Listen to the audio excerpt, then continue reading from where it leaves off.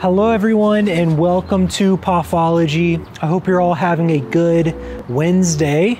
Hope your week is going well. Right now, Emily and I are going on a walk on this pretty gloomy, rainy day, and that's what we're doing. It's the end of our day. It's been a very crazy Wednesday, but uh, I'm glad I'm glad it's over. It's almost the weekend. Not that I really have that many plans for the weekend, but Emily does. So that will be cool. She's going to Cake Bake. And that's all. That's all that's happened. I hope you're doing well. Um, I so Emily and I went out to ice cream last night with our friends. We went to Liftoff. So here's some footage from Liftoff that I'm about to show you. So we're here at Liftoff Creamery. It's a really cool ice cream shop in downtown Indy, and this is the outside of it. And here's the inside. It's fairly small, but they have about 20, I mean, they had a lot of flavors. I think they had like 20 or 25 different ice cream flavors, and they, and I, I'm pretty sure they serve Ashby Sterling ice cream. So there's, they have a lot of flavors in general, but I got Blue Moon and Emily got strawberry. It was very, very good and Blue Moon is fruity cereal ice cream. So that was Liftoff. It was really fun to go there. Uh, they have a lot of flavors, so it was. I really enjoyed it. There's a cherry blossom tree, I think. Maybe it's not, but I don't know what it is, but it's very pretty pink tree. I really like it. The garden with lights, a very whimsical garden. And then they have this caution area patrolled by pug. So we're here in Lockerbie and it just smells amazing. It smells like flowers, very good smelling flowers right now. And I just think it's because everything's blooming, everything is, you know, it's spring. And I might show you well, if I haven't already, there's this street in front of me and it's basically covered in pink or purple flowers. It's all very, very cool. I see all these, uh, this road's basically pink from all the flowers. Man, this place is just so photogenic. I'm proud. I'm definitely not doing it justice, but it's just it's just very pretty. And that tree has purple flowers on it. Look at these beautiful tulips. We're on the uh, photo street in Lockerbie. There's the cobblestone.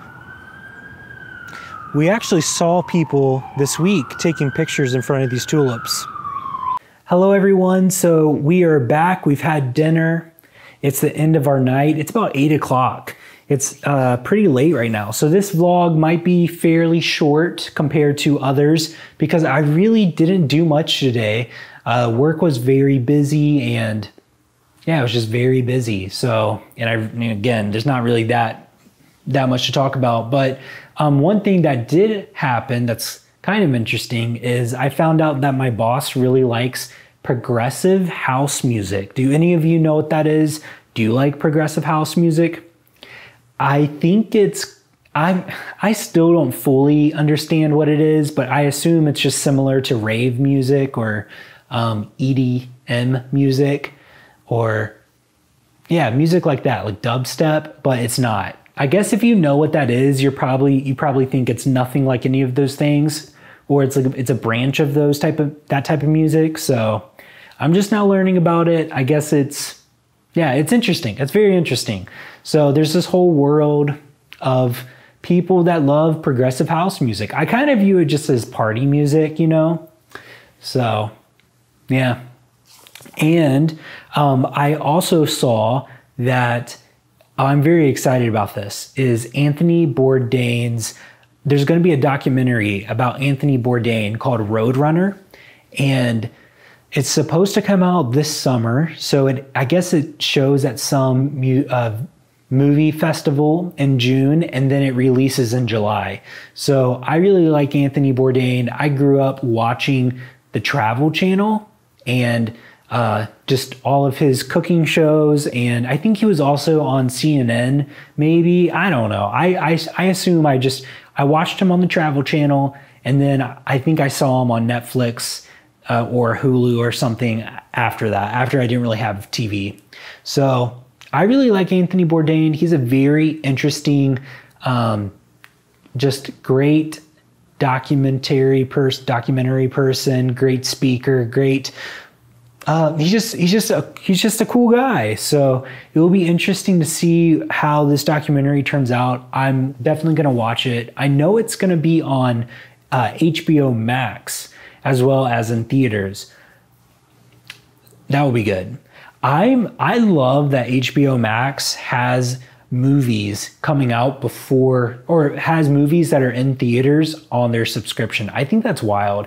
I kind of have a feeling though that that might go away or you'll pay $10 a month to be able to watch movies that are released, if not more, on your uh, subscription. So, yeah.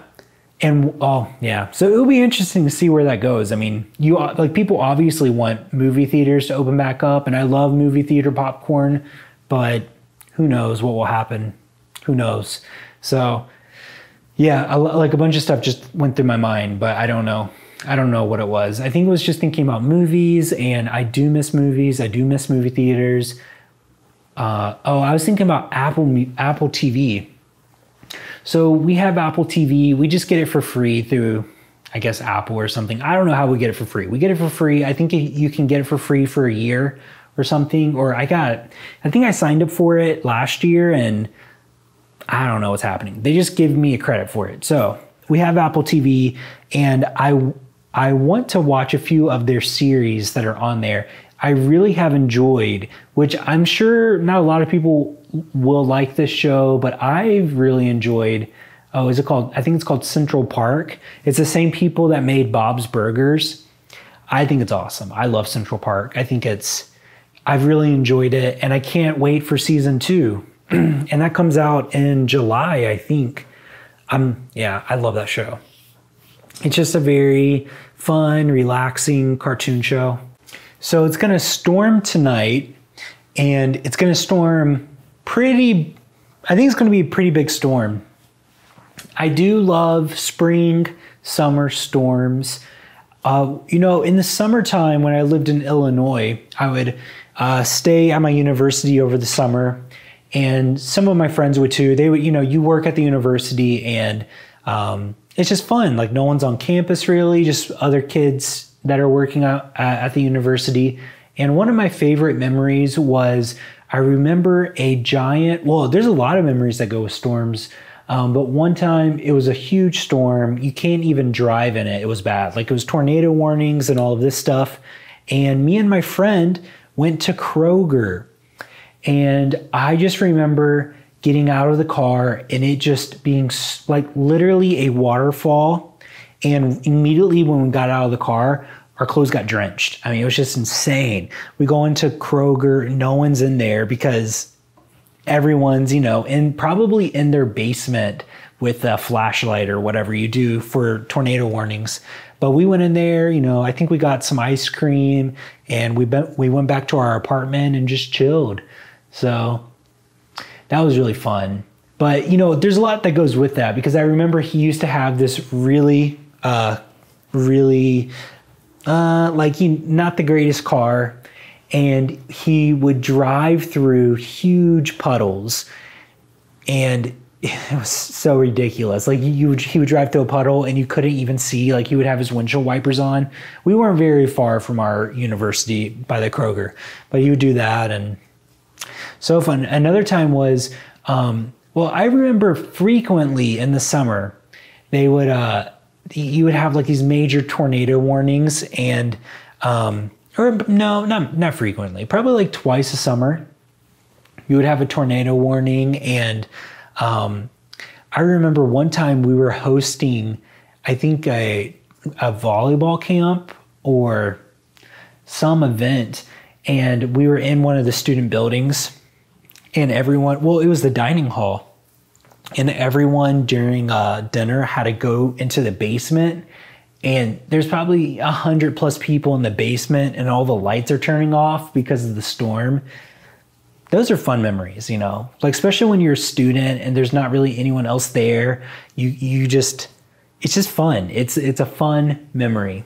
So and that would happen i think other times that happened we were in our apartments and you know you have to hide in your storage closet or whatever and nothing really major ever really happened but not that it couldn't. It just nothing really crazy happened when I was there. So yeah, it was it was fun. I love I love uh, summertime. I love being at universities during summertime. Just I will always probably have memories with that.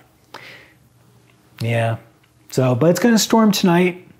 I think it's gonna be really, uh, really pretty to watch. And I, when we were on our walk, I could just smell the uh, streets, you know, when rain hits the, the concrete, that smell.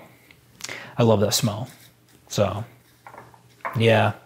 You know, it is crazy to me. So, I feel like, at least in Virginia, it uh, it rains so much, and I feel like it rains way more than it used to um, there because it seems like almost every time I'm about to go there, especially in the summertime, it's there's like it. They say, oh, the Dan River uh, flooded, or one of the major one of the rivers flooded, and all of this stuff. It's crazy. I don't ever remember that happening when I lived there, but it does rain a lot. I feel like it rains more in my town in Virginia than it does in even Illinois, where I was at, and about an hour, an hour and 15 minutes, an hour from Chicago. And even probably, I don't know, I imagine it rains more there than here, but maybe that's not true. I don't know. I'm sure I could just look that up, but it feels like it does rain there. So that's crazy. It, it, Virginia is nice because it has four very distinct seasons, which which are pretty mild. Besides maybe summer, um, you know, you don't get that much snow, at least where I was at, but it's enough. And the fall is very beautiful. And the summers are pretty hot. But I, you know, everyone, my opinion is everyone thinks their state has the hottest summers, you know. So, which you know, maybe maybe you live somewhere that ha- really does have the hottest summer, but then you you factor in the humidity, and so whatever. I bet, I feel like probably uh, Arizona has the hottest summer. So, or Colorado, I don't know. I don't actually know. I don't want to get into that. I don't really know who has the hottest. Okay, I think, um, I think that's all because I'm just talking about random stuff at this point, which is probably what I, I, I do often. But, anyways, if you're still watching this, comment down below thunderstorm because that's what we're going to be getting into tonight a thunderstorm. And it's really nice because out here I can see the the lightning and stuff. It's pretty cool. It's pretty cool. It's a it's a view. It's not I don't have it blocked off by other buildings or you know skyscrapers or stuff. It's pretty nice. I can just see the sky. So, which is what the time lapse is. It's just out here. So it's it's pretty cool. Okay, that's all. I hope you all have a good Thursday. Hope you all have a good Friday. Well, no, Thursday is today one. Hope you all have a good Wednesday, and I hope you have a good Thursday tomorrow. And um, yeah, I hope you. I hope something great happens to you tomorrow. If no one's told you this, you are loved, and this world's a better place because you are here. I'll see you tomorrow. Bye.